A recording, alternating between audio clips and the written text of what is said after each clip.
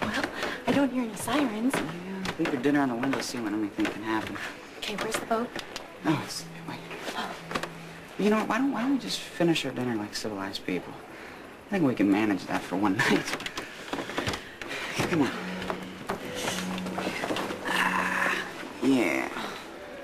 Hey, it's okay. We can duck out of here quick enough if we have to. This is the first time I've ever crashed anything and totally gotten away with it. Well, you know, the odds are better if you don't go inside.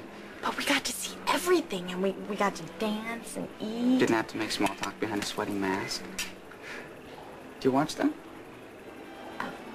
I just caught myself thinking, uh-oh, I'm gonna be late getting home. Mm. I still do that sometimes. I can't believe I forgot. That Grandma's mad at me, that I'm homeless, that...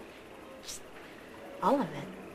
Can't believe I forgot about everything but right now. Well, you know, it's not so bad. Are you kidding? it's great. I've heard people say stuff about living in the moment. I just never knew what they were talking about. I think this is what they were talking about. I just, I don't know. I, I think all it is is forgetting to worry. Yeah, it's one thing I never forget. Except with you.